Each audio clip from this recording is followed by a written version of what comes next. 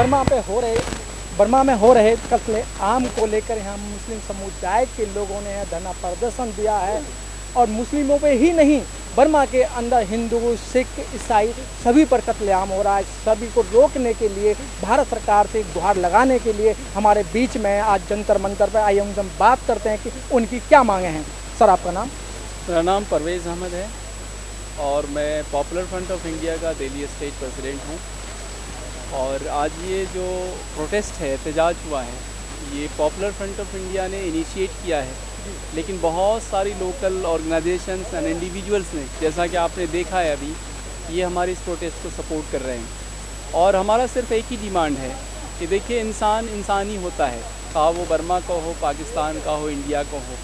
और ख़ास तौर से वो लोग जो बिल्कुल ही गरीब हैं, मस्किन हैं, उन पर बर्मा की हुकूमत और वहाँ की फ़ौज जिस तरह से दरंदगी का मुजाहरा कर रही है, हमारी तारीख़ रिवायत रही है भारत की कि हम हमेशा मज़लूम, आप देखिए हमारी तारीख़ फ़लस्तियों के साथ हम हमेशा खड़े रहे, उनके शाना बशाना चलते रहे। तो आज ज़रूरत है इस बात की कि बर्मा के ये लोग जो पनाह चाहते हैं हमारे मुल्क में, आना चाहते हैं, हमारे जो प्राइम मिनिस्टर ऑफ़ इंडिया है जनाब मोदी साहब, मैं उनसे गुजारिश करना चाहता हूँ कि जो चालीस हज़ार लोग यहाँ हैं, उनको रहने दिया जाए और साथ ही साथ जो लोग यहाँ आ रहे हैं और आना चाहते हैं, उनके लिए हमारे मुल्क का दरवाज़ा खोल दिया जाना चाहिए। यही वो इंसानियत की आवाज़ है जो इस वक्त हमें सुनना चाहिए।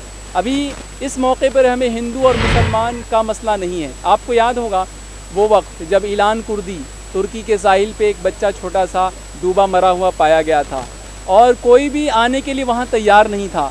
इस दुनिया में फ़्रांस एक ऐसा मुल्क था, वहाँ पर हमने देखा कि जिसने अपना दरवाज़ा उस तुर्की और शाम के लोगों के लिए खोल दिया। और हमने देखा कि किस तरह से फ्रांस का कद पूरे दुनिया में बहुत ऊँचा हो गया। इसलिए अभी एक अच्छा लेसन है हमारे मुल्क के लिए, हमारे प्राइम मिनिस्टर के लिए, कि हम भी इस दुनिया में एक बेहतर स्टेटस के लिए जो लड़ाई लड़ रहे हैं, कि भारत भी सुपर पावर है। ये सुपर पावर ह्यूमनिटेरियन ग्राउंड पे भी हमें दिखाना चाहिए और उन लोगों के लिए दरवाज़ा खोलना चाहिए।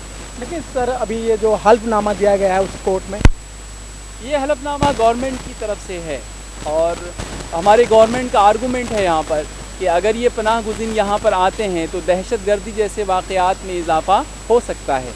लेकिन ये लॉजिक नहीं है असल में। ऐसा इसलिए नहीं है कि ये पनाह गुजिन आज से हमारे पास नहीं है।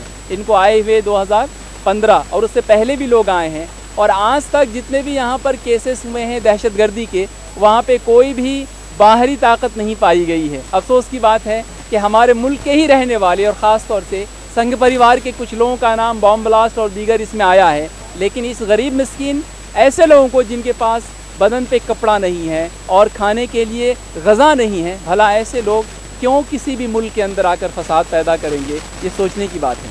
तो आवाम से आप क्या अपील करेंगे? हम भारत की आवाम देखिए अमन पसंद लोग हैं। आपको याद है कि हम दुनिया में जहाँ रहते हैं, अमन के साथ रहते हैं। और कहीं भी हम अम, आज भी हमारा देखिए प्रोटेस्ट हुआ है। हमने बिल्कुल डिसिप्लिन के साथ और जैसा हमको परमिशन था, उसके मुताबिक हमने अमल किया है।